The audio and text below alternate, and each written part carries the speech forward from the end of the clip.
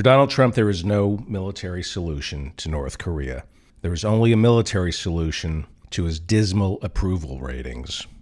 Do not let this craven homunculus lead us into war. He's a traitor, he's a coward, he's senile, and we need to invoke the 25th Amendment right now and remove him from office tomorrow. North Korea is not our problem. Donald Trump is. It's 3 a.m. on Tuesday, September 5th, 2017. I'm David Feldman. We have a lot of show, so let's get right to it. Welcome to the broadcast. I'm David Feldman, davidfeldmanshow.com. Please friend me on Facebook, follow me on Twitter, and please do all your Amazon shopping via the David Feldman Show website. We get a small percentage of everything you purchase, and I promise you that every penny that comes to us goes towards keeping the lights on here at the David Feldman Show, which is a great one today. Comedian Kurt Metzger is on our show today. From CBS Sunday Morning, Nancy Giles, comedy writer Dave Sirus talks to us about DACA and Korea. Then Corey Brettschneider, constitutional law professor Corey Brettschneider, joins us and we talk about the environmental impact of Hurricane Harvey on Houston with the New Republic's Emily Atkin, who is doing, I believe, the best reporting on Hurricane Harvey. Stay with me.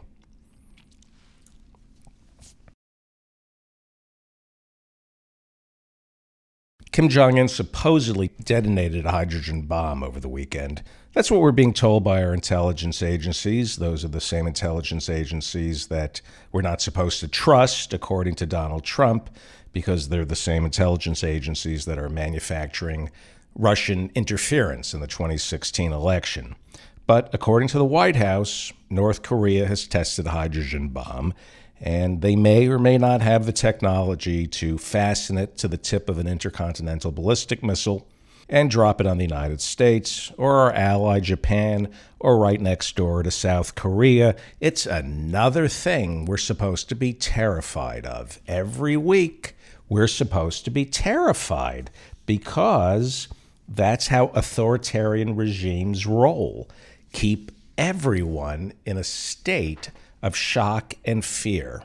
Well, we're getting tough talk from Donald Trump. He's protecting us from North Korea. There's that narcotic of tough talk that Republicans sure love. George W. Bush gave it to us in the lead up to the war against Iraq, and now Trump.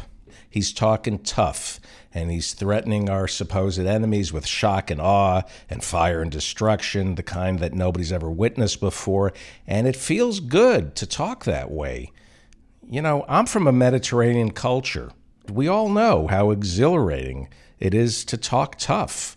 It gets the blood going. That's why Americans are better off with Protestants from Northern Europe.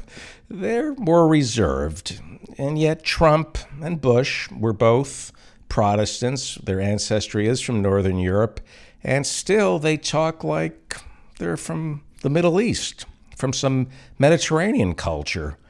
They like that narcotic that comes from posturing, from being tough with our enemy. That's because Bush, like Trump, Trump, like Bush, ignorant. They never served in the military. They don't understand how war works. They just like to pose. And they think that if they talk tough, people are going to cower, but that's not how the real world works. And the same goes for our current ambassador to the United Nations, this tool, Nikki Haley. She was talking tough yesterday before an emergency meeting of the uh, Security Council in the UN. Uh, Nikki Haley, she's the former governor of South Carolina. She was a congresswoman. Before becoming governor of South Carolina, she graduated from Clemson University with a degree in accounting, but she's not a certified accountant. But that didn't stop her from being named chief financial officer of Exotica International. That was her family's clothing business, which has since gone out of business. But from this job at Exotica International, working for her family, she was catapulted into the world of politics. Nikki Haley, this political hack from South Carolina, was given the job of UN ambassador by Donald Trump to build her resume. Maybe she could learn something. She's representing the United States over at the UN. This is the same seat held by Adlai Stevenson who was Kennedy's ambassador to the UN, Arthur Goldberg, who stepped down from the Supreme Court to sit over at the UN. Arthur Goldberg, under Johnson, gave up the Supreme Court to go to the UN.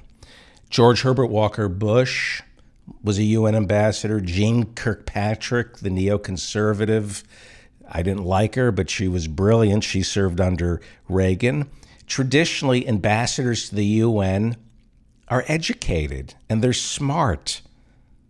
The UN ambassador represents us to the world.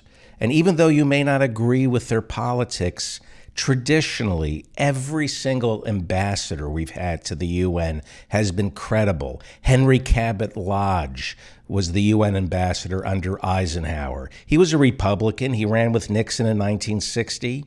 But he had enough gravitas after Nixon lost that John F. Kennedy named him our ambassador to South Vietnam. Granted, when he got to South Vietnam, he helped in the assassination of President Diem, but still, Lodge was educated and smart. And now our brilliant Nikki Haley is our representative over the United Nations. And yesterday, this is what she announced to an emergency meeting of the UN Security Council. She said Kim Jong un is begging for war. She went on to say, We have kicked the can down the road long enough. There is no more road left.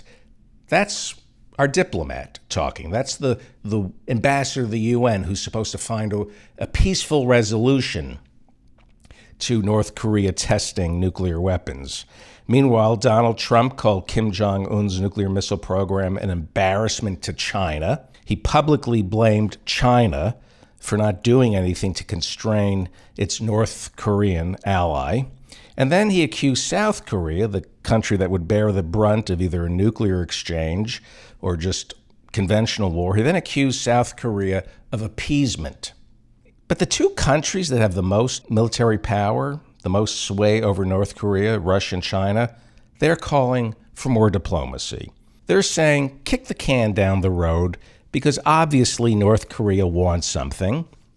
I suspect it's money. I suspect they want fewer, not more economic sanctions. They remain a broken remnant of the Cold War. Well, what is the answer to North Korea? The answer is you kick the can down the road. There's always plenty of room for diplomacy. You kick that can and you kick that can and you keep kicking that can. You talk and you talk and you explore all the various options. And yes, you appease and you disarm. You get the North Koreans to dismantle their nuclear warheads. You make it in their best interests to dismantle their nuclear warheads by giving them money because war is not the option.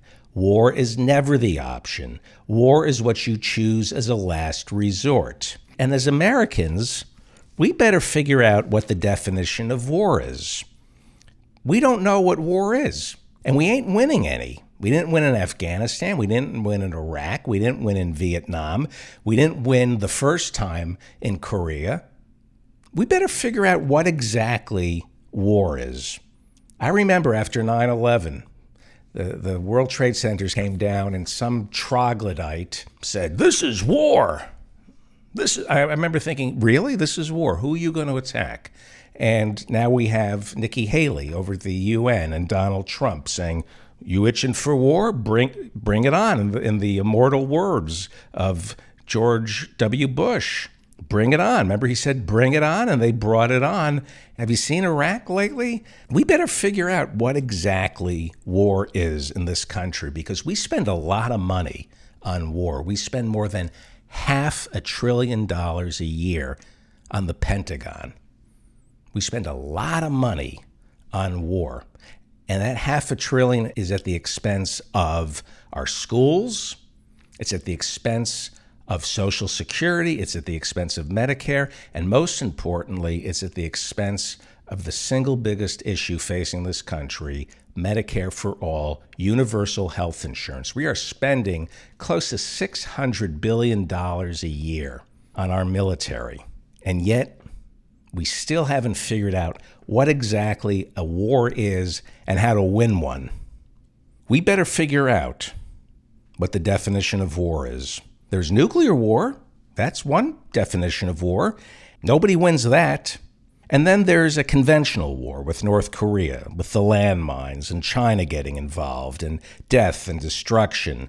We didn't win the first Korean War back when we had a draft, and we're certainly not going to win a second Korean War because we're going to have to fight that one with our arm tied behind our back so as not to provoke China, so as not to provoke Russia. What Americans like Trump and Nikki Haley refuse to accept because so much of our identity is wrapped up in it. They refuse to accept that America is not the military might some of us like to believe. Some of us like to fall asleep with that warm blanket of security, believing that we are all powerful and that we, we can win every war. But history has shown we haven't really put any numbers on the board since World War II. We're not winning wars. Now, we can blow up the world, but that doesn't make us special. Russia can blow up the world. China can blow up the world. Pakistan, India, Israel, they all have nuclear weapons. And guess what, Donald Trump and Nikki Haley? You know who else can blow up the world? France. That's right. France has nuclear weapons. Even the French can blow up the world if they wanted to. Granted, America has more nuclear tipped missiles than everybody except Russia, so we can blow up the world more than most countries can. But being able to destroy the planet doesn't make us that special. In fact, Hurricane Harvey has proven you don't even need nuclear weapons to destroy the planet. You just need to put ExxonMobil in charge of the Environmental Protection Agency. It's not that special being able to blow up the world. A lot of countries can do it. According to the Federation of American Scientists, very important agency, renowned, they keep an eye on these things. The number of nuclear weapons in the world, because of diplomacy, has gone down since the fall of the Soviet Union. Think about this. Back in 1986, Reagan was president, and there were 70,300 nuclear weapons. But thanks to negotiations, thanks to, you know, kicking the can down the road, talking, diplomacy, appeasement, detente, there are now, as of 2017, 14,900 nuclear weapons in the world. That's a lot fewer than there were in 1986. Thanks to diplomacy, we have reduced the number of nuclear weapons on the planet. And there's even some talk of getting rid of nuclear weapons completely. But let's get back to this myth that America is the strongest military on the planet. Yes, we're the strongest, that doesn't get us much. Russia has 7,300 nuclear weapons because of negotiations, diplomacy, 1,179 of those nuclear weapons are operational. In other words, they can be launched immediately. They have 1,179 nuclear tipped weapons. It's more than enough to destroy the world, I don't know, 60 times over. America has 6,970 nuclear weapons because of arms control talks.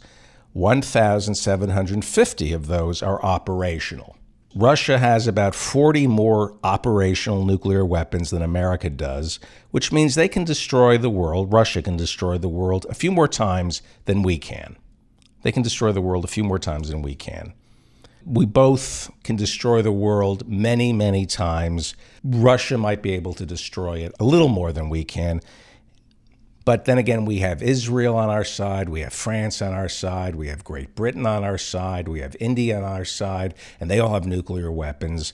So we would probably win a nuclear war against Russia. We would lose the planet, but we would win the nuclear war. Maybe some somebody aboard the International Space Station will still be alive to declare a winner.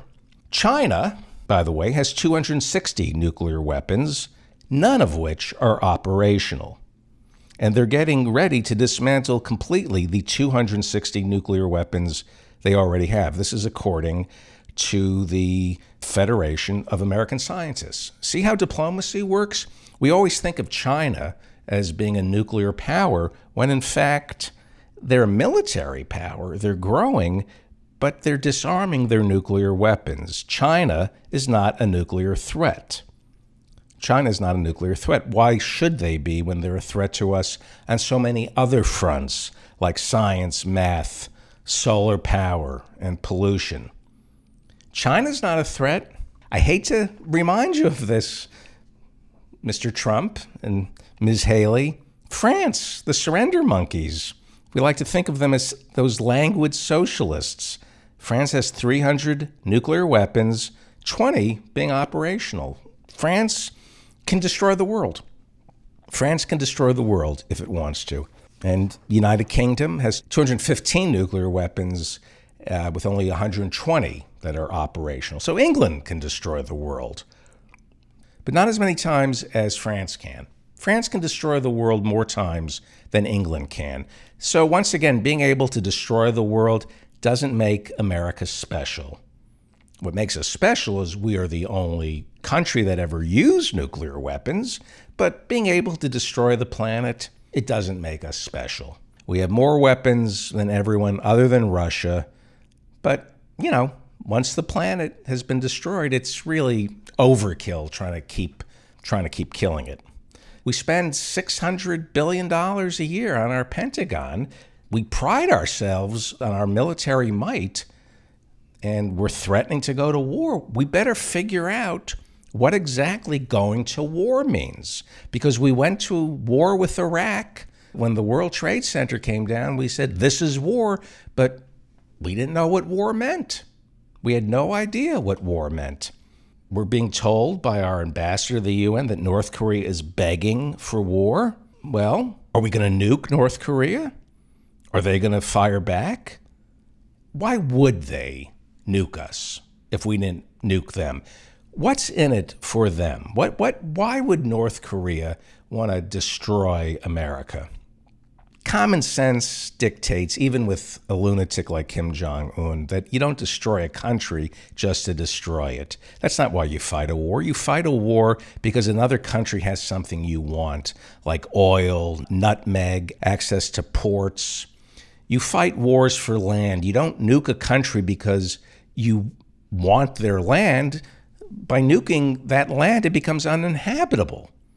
Look, North Korea is developing its nuclear weapons because it wants attention. It's not spreading some ideology throughout the world.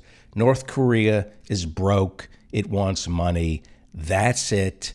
Give North Korea some money. We've done it before under the rubric of diplomacy.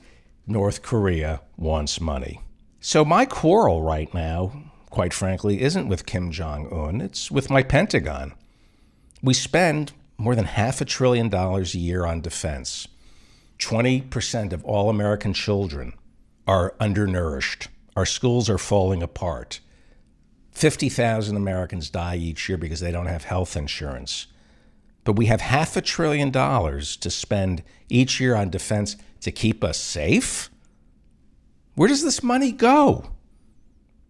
Where does this money go? We've been spending half a trillion, more than half a trillion, over at the Pentagon, which can't be audited. It's impossible to audit the Pentagon. Where did this money go? North Korea has been using its nuclear weapons program since the 1990s to squeeze America for cash. You would think our Pentagon by now would have been able to figure out a way to shut out the lights in North Korea so it can't fire or test a nuclear missile. You would think by now our CIA would have spies on the ground in North Korea who could plant some sort of Stuxnet virus inside North Korean computers. Remember the Stuxnet virus? America and Israel planted the Stuxnet virus inside Iran to slow down their nuclear weapons program. Half a trillion, more than half a trillion dollars a year, just on the Pentagon. That doesn't include all other spy agencies. And nobody has been able to figure out how to cripple North Korea's nuclear ambitions the trillions of dollars of business we have conducted with China, and it's never occurred to our State Department that it would be in the best interests of both countries to make sure that before any trade deal is implemented, China makes certain that North Korea's nuclear weapons program has been stymied? All those trade agreements with China, and it never occurred to the geniuses in Washington that in order for China to make our Apple iPhones, in order to steal all our jobs, they would also, as payback, keep their ally, North Korea, make sure that North Korea's nuclear ambitions are in check. It never occurred to anyone? Or maybe it has occurred. Maybe China and the United States are keeping an eye on North Korea. And maybe China, and I think this is true, I think China already knows how to turn North Korea's lights out. I think America knows how to turn North Korea's lights out. I think this is probably a big show. Maybe China, which supplies North Korea with all its coal, electricity, and food, maybe, maybe China already knows how to shut off North Korea, and maybe America knows that China knows how to shut off North Korea. And maybe China knows that America knows how to shut off North Korea. And maybe North Korea is just putting on a show that actually benefits America and China. Maybe North Korea is just the distraction China needs so the world doesn't pay attention to all its human rights violations there in China. Maybe North Korea is just the distraction China needs so we stop paying attention to the genocide that's being committed right now in Tibet, so we don't pay attention to the rape of the environment that China is committing.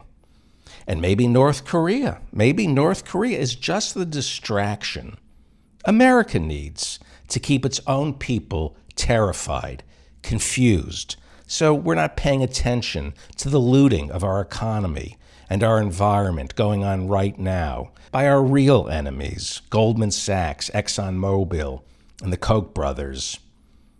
It's funny how what I'm saying right now sounds paranoid, doesn't it? I'm the one who sounds paranoid. But being afraid that North Korea is going to drop a nuclear bomb on us, in America, that's healthy. That's not paranoia. No, no. It's only paranoia when you think that maybe we're being lied to and that North Korea isn't a nuclear threat. They've completely twisted it on us. I'm the paranoid one for saying, don't worry, North Korea isn't going to nuke us. Isn't that, isn't that Orwellian? Because we're supposed to be paranoid. We're supposed to have the right paranoia. We're supposed to be terrified of North Korea, Iran, ISIS, the Taliban. When we fear those groups, that's not paranoia, that's mental health. But if we fear Exxon, if we fear the CIA, the Pentagon, if we fear that we're being lied to by our government, if we fear that we're being lied to by a government that wants us to keep our eye off what's really important, then we're being paranoid then we're sick.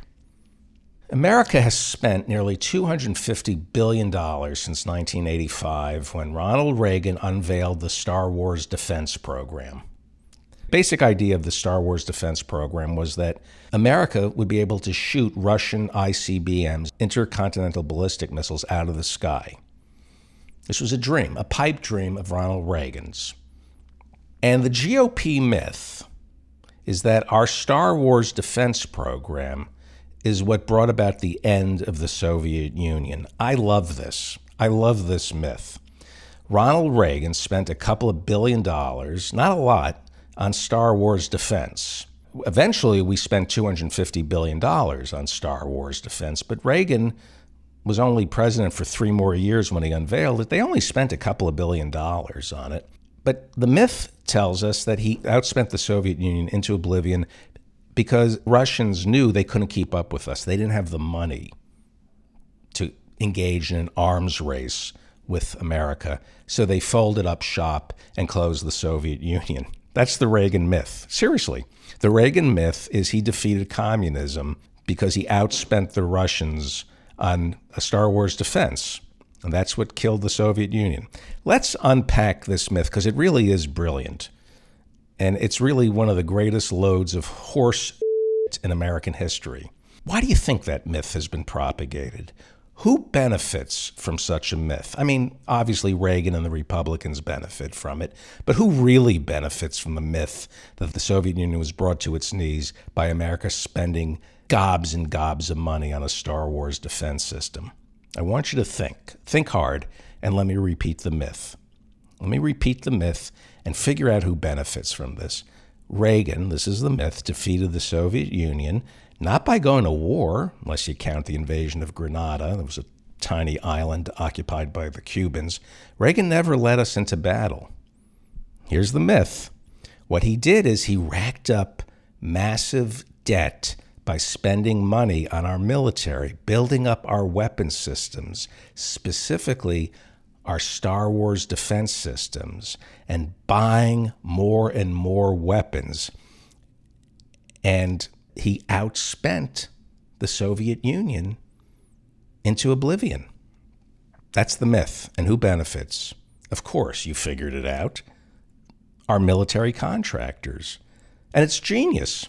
It's genius. That myth makes it settled law that nobody can run for president without promising to spend more, not on our soldiers, more on our defense.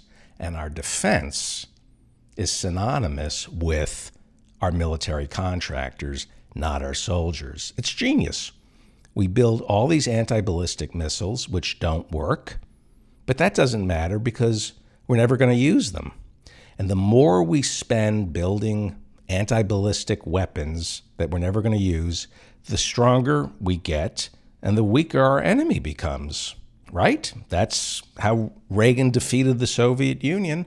He never fired a shot. He just cut checks. He bought missiles and missile defense systems on credit and cut food stamps and threatened Social Security because that's how Reagan defeated the Soviet Union by transferring, I'm not making this up, he transferred trillions of dollars to Lockheed Boeing and Raytheon and all the other American companies that make our weapons, weapons that supposedly work. As North Korea shoots an intercontinental ballistic missile over Japan, what do you think Japan does? They buy anti ballistic missile systems from America.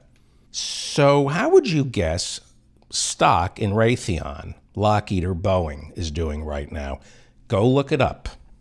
Go look it up. Since Kim Jong un began testing his nuclear weapons, Raytheon, Lockheed, and Boeing are at record highs. Go look it up. And what do Raytheon, Lockheed, and Boeing all have in common? They make missile defense systems. They make the missile defense systems that Japan is buying, that Israel is buying, they make the missile defense systems that America is buying and deploying in Guam or in Europe because supposedly, after spending $250 billion since 1985, when Ronald Reagan introduced the Star Wars defense, supposedly, we're able to shoot down incoming nuclear tipped intercontinental ballistic missiles.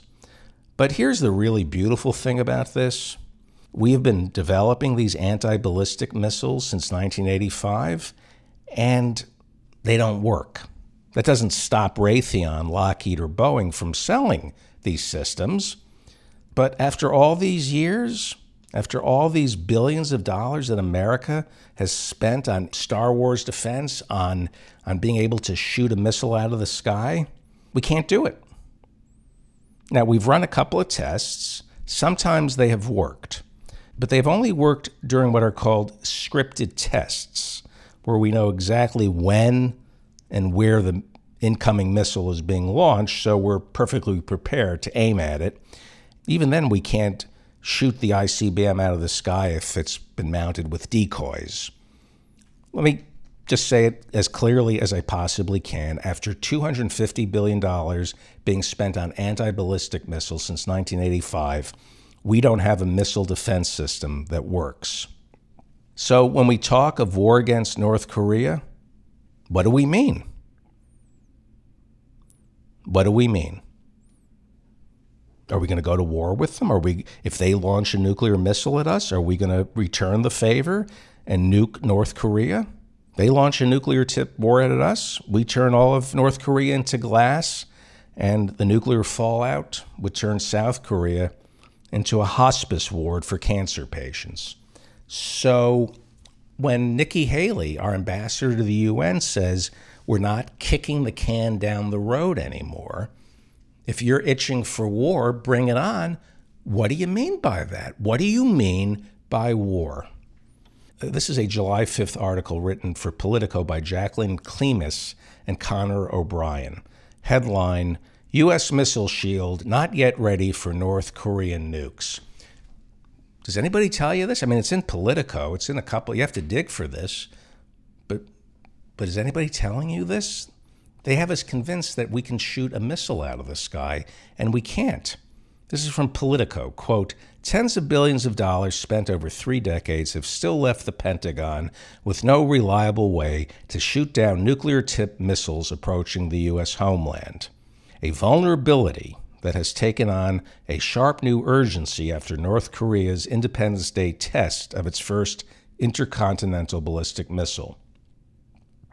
Instead, Politico writes, the missile defense system designed to shield the United States from an intercontinental ballistic missile has failed three of its five tests, military leaders acknowledge.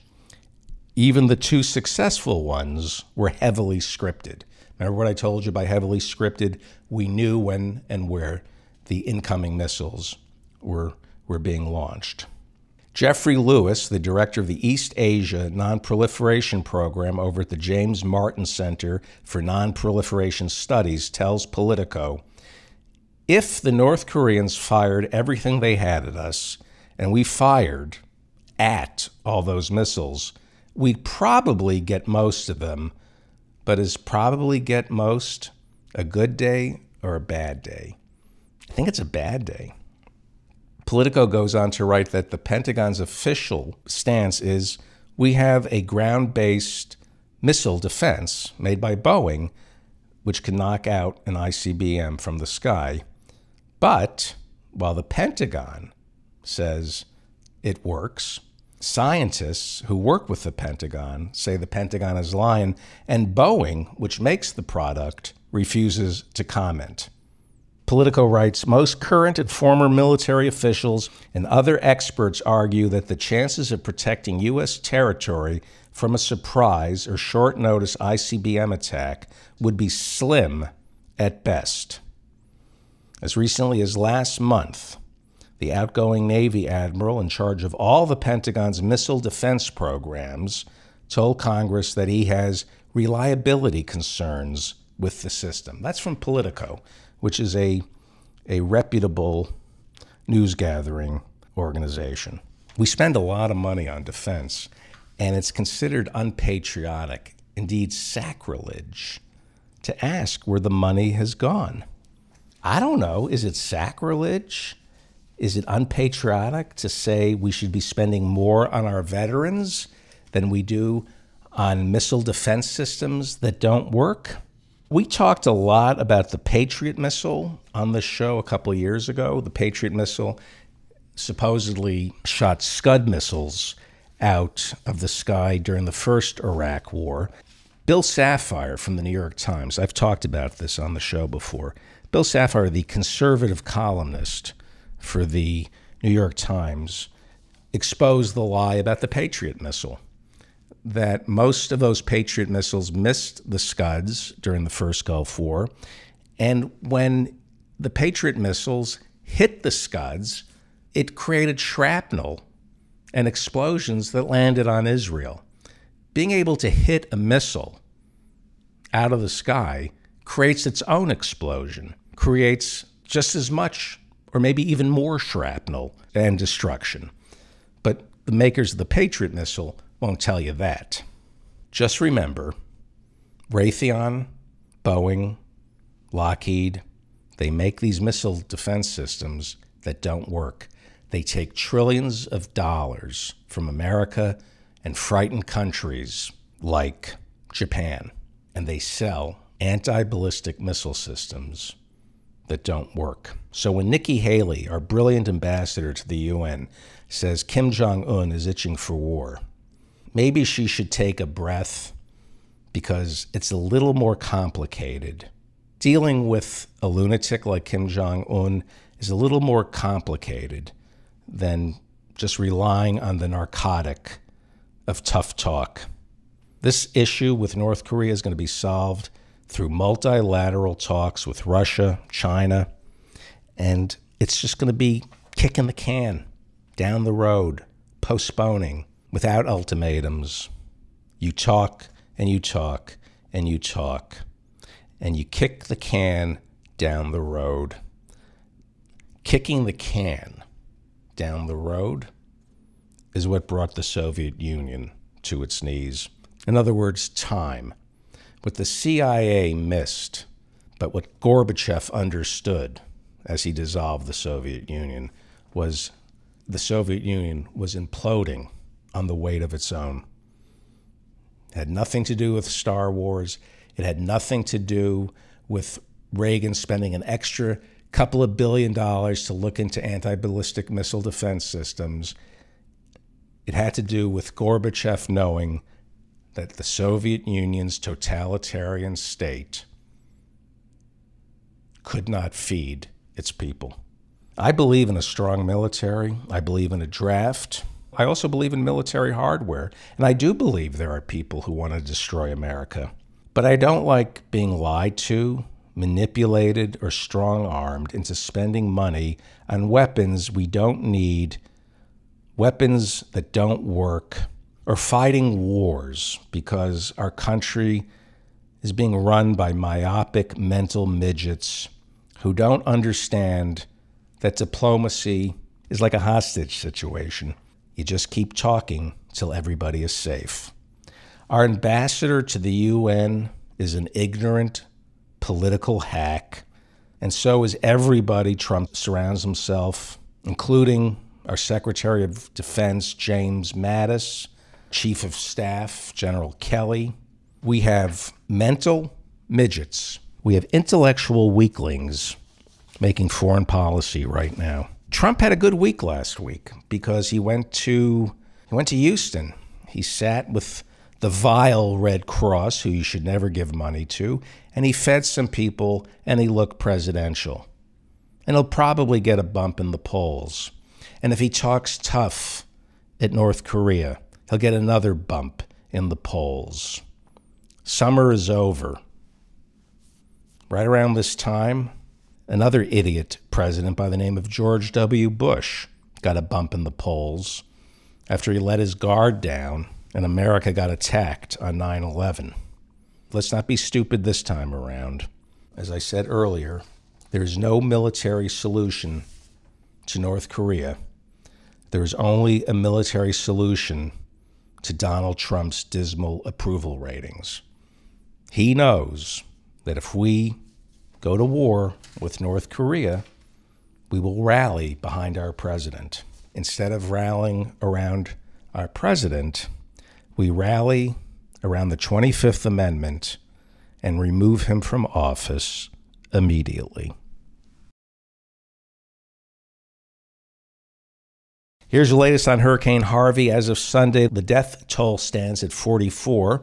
The Environmental Protection Agency says Houston has 800 wastewater treatment facilities that are not working. The EPA says it has yet to inspect the 13 toxic Superfund sites that were damaged by Hurricane Harvey. Five of those toxic Superfund sites were completely inundated by the storm. That's the Environmental Protection Agency being gutted by Donald Trump and Scott Pruitt.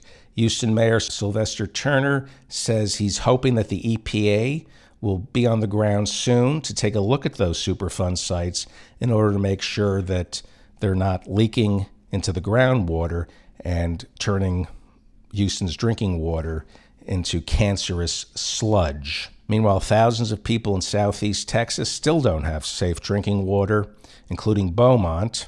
The EPA reports that 166 water systems near Houston are instructing citizens to boil their drinking water for safety.